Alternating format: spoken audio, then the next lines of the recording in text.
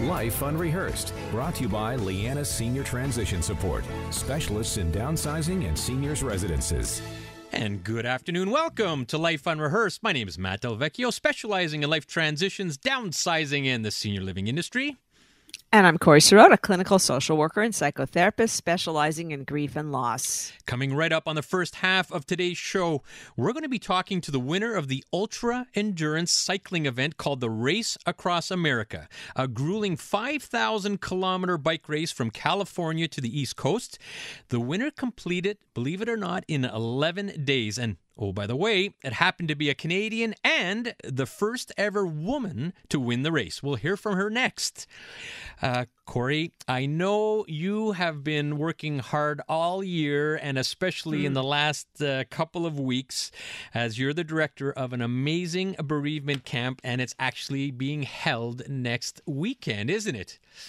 That's true. So tomorrow is our very famous meet and greet. so we will be meeting with the campers and their families, letting them get to know each other so that they can come back next weekend and feel comfortable in this program. We're not letting any pandemic stop us from making this happen. Well, good for you. And even though it is this sort of a weekend and a week long event, there's 52 weeks of work going into that. I, I know personally for all that you do. you hear so it. God bless. Way to go. Uh, good for you. Uh, what do we have coming up on the second half?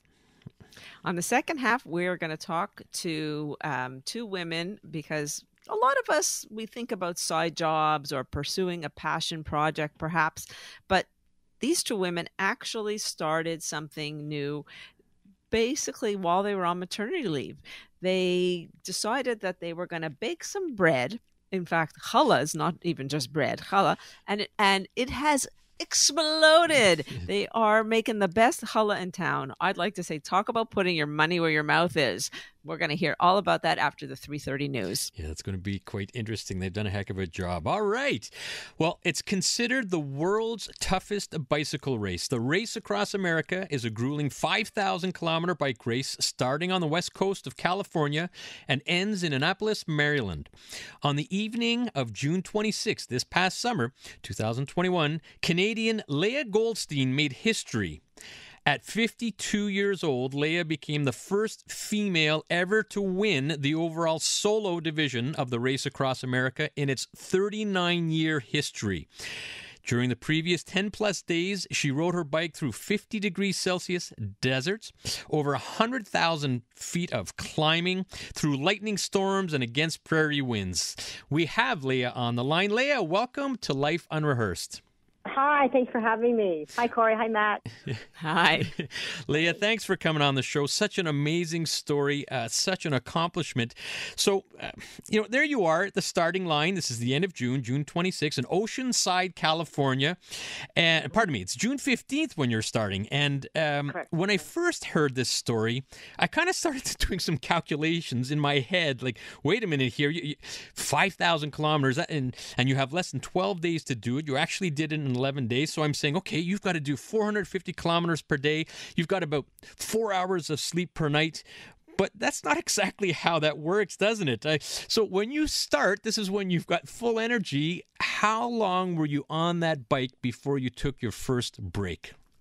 Well, like you said, because you've got 12 days to do it, you don't have a lot of time for sleep or you know anything else but pedaling. So how we rode it, the plan was to ride the first 40 hours nonstop, and then I'd start my sleeping cycle of three hours, and then you ride 24 hours and three hours, 24 hours, and then the last three days because there was you know potential that I could win the race, we cut my sleep to 90 minutes right? So oh that's goodness. basically how I rode across the country, right? wow. But there's many other challenges aside from that. But yeah, that was the plan in advance, right? Because you have to be really strategic, not to cut too much sleep too early. Hmm. So you know that was our plan going into this race. So you just jump on that bike 40 hours straight before your first yeah, break. Yeah, you're only coming off the bike um, if you have to go to the bathroom, or you have to have a bike change, or you have to sleep. Everything else, you can brush your teeth on the bike, you can eat on the bike. Can drink on the bike.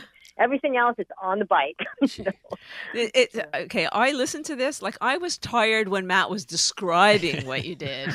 I needed a nap, so I don't know how you did this. Anyways, let let's talk about some of the other aspects, the competitors that, that were in the race, how many actually f- are in it and how many actually finished? Well, actually, this year was the worst conditions the race ever experienced, and only three finishers. Like I hmm. finished um, after 11 days, 17 hours behind me came the first man, and then two hours after him came the last rider, which is the second male to cross the finish line. And the reason why is because of the heat. There was heat hmm. wave, um, heat excessive heat wave warning, warnings through the desert of 50 to 54 degrees Celsius. And it wasn't just the heat through California, Arizona. It continued right into Colorado, into Maryland. You know, it was like it, it cooled down at night to maybe 35. So you didn't get much reprieve from that, right? You know, mm-hmm. and it mm-hmm. was, that was the biggest challenge. It was like, you know, just surviving those crazy conditions. Well, un- unbelievable. Life Unrehearsed. Matt Del Vecchio here with Corrie Sirota, and that's the voice of Leah Goldstein. 52 years old, Leah became the first female ever to win the overall solo division, 5,000 kilometer bike race called Race Across America. Um, now, Leah, I want to expand a little bit on on this because I can't uh, we can't underestimate this desert conditions. And from what I understand, I mean, you're reaching 50 degrees Celsius on that bike. You're going hours right. and hours and hours. I think it was three solid days of desert. How did you get through that? Obviously, the competitors, the vast majority, couldn't get through that. Yeah, I mean, even teams had dropped out. Most of most riders, I mean, they dropped out during that part. Many ended up in the hospital having to get IVs. And how I rode it, I mean, I was lucky enough to have a nurse on board with us, so I could stop twice to get an IV. But in order to ride in those conditions, I had like an ice sock around my neck, frog skin, mm-hmm. and then every five to ten minutes, my crew would leap in front of me with a bottle of water that I doused over my head, and I'd have to also um, cool down my handlebars and the pads where you put your, um, you know, where the aero bars are because I couldn't touch anything. It was that hot, you know, and and even the rider that was in, in the lead at that time, the first two days as a Dutchman, his um, little speedometer started to melt. The plastic. that's that's the intensity of the heat. Like I kid you not, you could have fried a steak on the on that asphalt. It was it was excruciatingly hot. Wow. So you, you mentioned something um, that is fascinating to me. You mentioned your crew. Let's talk about Correct. the crew. I understand you had nine people for this race.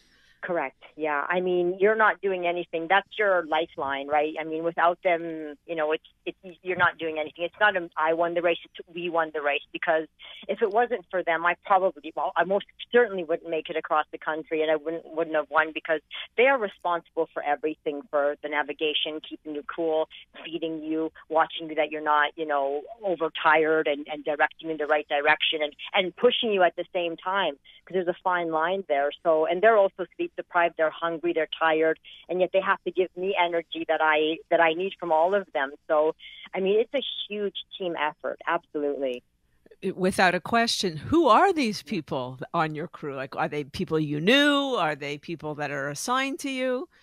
Um, no, it's people that you know. I mean, I'm lucky enough, very fortunate to have the same crew members that I've had in the past, so they know me. You know, they know my style. Um, they know our strategy. We work together. We plan things together, and it's just kinesiologists, massage therapists. I had a nurse there. I had a bike mechanic. So you're basically bringing a city of people right across the country that have specific skills that help me, you know, to get across the country as safe as possible. Just incredible. And and uh, when we were talking off air, uh, Leah, you couldn't speak highly enough of them, and and and you almost made it like they won the race for you. As an alien, by the way, they you did. Were, you were I the mean, one I just so you know, you just can't be more thankful enough as an athlete to have such support, right? You know, cause, you know, you're not paying the millions of dollars, right? And uh, so, yeah, I mean, they mean everything to me. Without them, like I said, it would, wouldn't have happened. You were very humble. That's Leah Goldstein, first ever woman to win the race across America in its 39 year history. She cycled 5,000 kilometers in just over 11 days. So you talked about. I'd like you just to go over the the biking plan one more time. You you biked 40 hours without Correct. sleep. That was your first break. You still have 9 or 10 days still to go. And yeah. so you had a plan in place. And so again, you're averaging how many hours of sleep a night after that first 40 hours?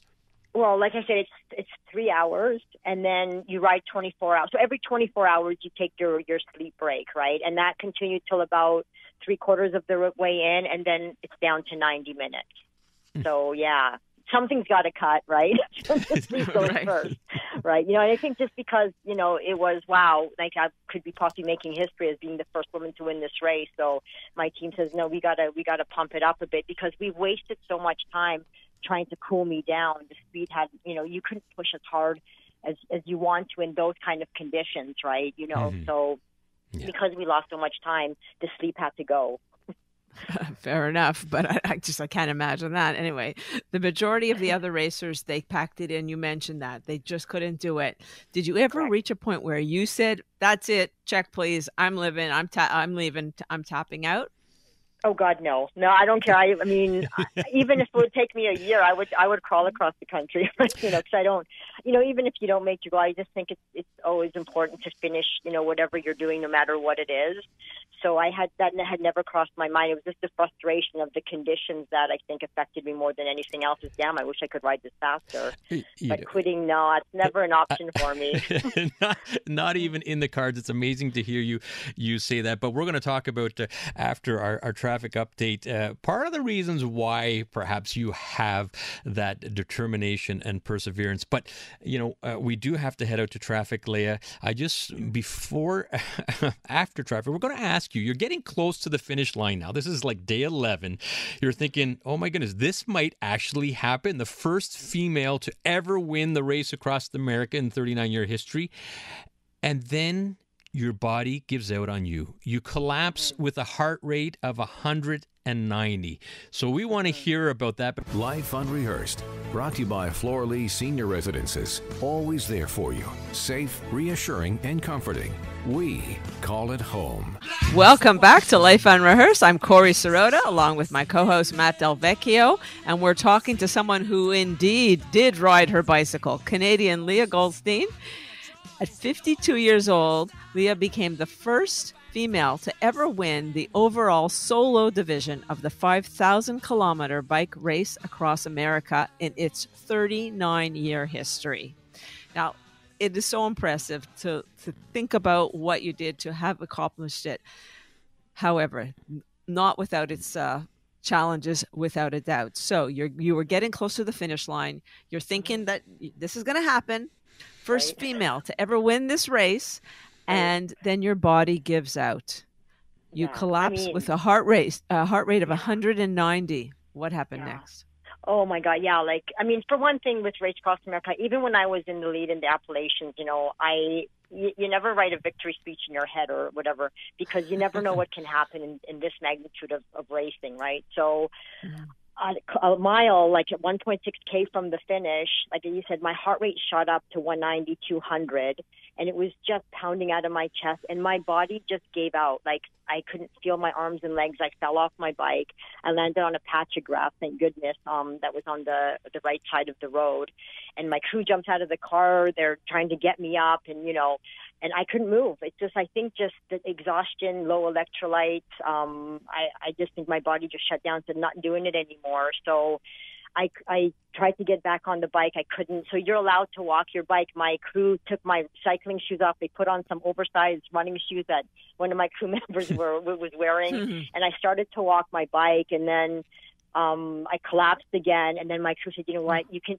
They're right there. It's right there." And it it took me one hour to get to the finish. And if you look at the actual finish of the race, it's a little bit of a descent. So I hopped back on my bike and I kind of glided into the finish with pink running shoes and two crew members running beside me so I won't fall over. So yeah, that was the worst part of the whole race. To tell you the truth, was that last 1.6 kilometers. 5,000 Right. kilometers and you you got a kilometer and a bit to go. Oh my goodness. Well, you know, you know Leah, it obviously takes a, a special person to accomplish what you did. Let- Let's just remind our listeners that only 3 people actually finished this race. Correct. But maybe a lot of people may not know you were also a world kickboxing champion and an uh, undercover Israeli police agent. How did these experiences help you persevere through these really unimaginable conditions? Oh, for sure. I mean, the training in kickboxing was well. My my my kickboxing coach was very tough on me. I mean, he never ever um, complimented me or told me I did really good. Even when I won the world championship, he said, "Oh, you could have done better," right? So he always told me that you can always train better and be better and harder. There's no such thing as perfection. No one is perfect, right? And I think that helped me even with my hardcore type type of training. I don't reflect on the good. I always reflect on the bad of what I could improve on. And in regards to the military training, I mean, how they try to crack you mentally, there's nothing harder than that. So, you know, race across America compared to the army is night and day. So I think I right. think that helped me for sure. Hmm. Okay, so those were two kinds of training, but what other kinds of training did you need to do to get your body and your mind ready for this tremendous challenge? Well, I mean, of course, there's like you know the core of just having a strong body with some weight training. Um, of course, proper nutrition is very important, and lasering in because you think about how much training you're doing to compete in something like this. It's from 60 to 70 hours a week, so that's what you're doing for basically the full year. So it's 110% because this whole process to get ready for this race is it probably a year just with the crew and the rider and, and the logistics. So I mean, it's it's a it's a full time job for sure. Unbelievable. Listening to Life Unrehearsed with Matt and Corrie, and that's the voice of Leah Goldstein, 52 years old. Leah became the first female ever to win the overall solo division of the 5,000 kilometer bike race across America in its 39 year history. Uh, Leah, we're, we're, we're slowly wrapping up here, but I believe, and I'm so glad to hear that uh, I think uh, there was a documentary being filmed, or, or, there will be a documentary coming out uh, about your race. Is that correct? And can you tell us about it?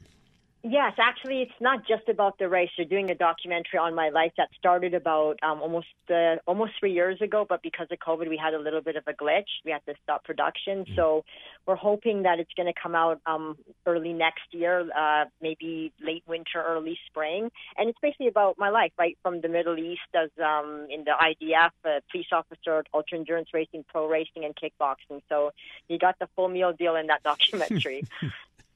It'll be fascinating, no doubt. Yeah, thank you. what kind of reactions did people have once you uh, won? I, I mean, the kind of reaction I had was, "Holy crap! What did I just do?" Right? You know, uh-huh. I mean, it was incredible.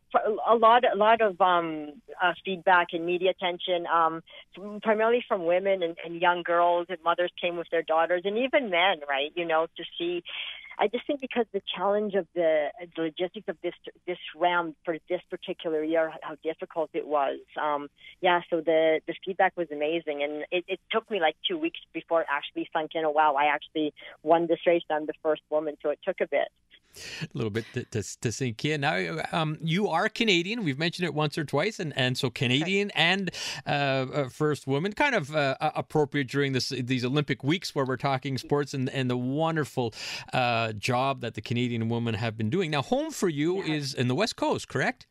Yes, I, I'm in Vernon, uh, British Columbia, and I also in Vancouver. So I, actually move back and forth. My parents live in, in Vancouver. I'm very close to them, so I see them at least once a month um, uh, have you been? at, I imagine you are a great role model to young women, to many. But I'm going to go. Out, I'm going to go for young women. What advice would you give a young woman who who who hears about what you've done and is thinking about doing this? Well, I mean, with anything, I think it's, you know, is, is quitting is never an option. And whatever you do, it's 110%. And, you know, don't be afraid to fail because if you don't have the ability to fail, then you'll never have the ability to succeed in anything, right? And you should almost use that as strength, right? Because if you know my story, my backstory, I mean, if I had a penny for every time somebody told me I couldn't do something, I'd be a billionaire. So there you have it. I mean, use that as strength. I mean, your best revenge or challenge when somebody says you can't is prove them, proving somebody that you can. So that's basically what it is. Is like I said, you reach your finish line no matter what it is, and, and don't let anything stop you, especially failure and your fears. Know, so it's such a good point, and I think you are uh, not just the physical component, which is just think about biking five thousand kilometers, but I would imagine the mental part of it and the mental toughness and what you're talking about just there and giving advice. I think it is much mental as it is physical for many many people. Um, and I just want to wrap it up, uh, Leah. You also have a, a book uh, called No Limits The Powerful True Story of Leah Goldstein. Is Goldstein, world kickboxing champion, Israeli undercover police agent, and cycling champion. So we want to let people know that this book uh, is out there. It's done extremely well. And I would imagine this documentary you're talking about is going to be a bit of a summary of that book as well, isn't it? That's correct. Yeah, it's basically based on the book, exactly. Well, wonderful. Leah Goldstein, thank you very much for joining us on Life Unrehearsed. Thanks for having me. I appreciate it. Thank you so much.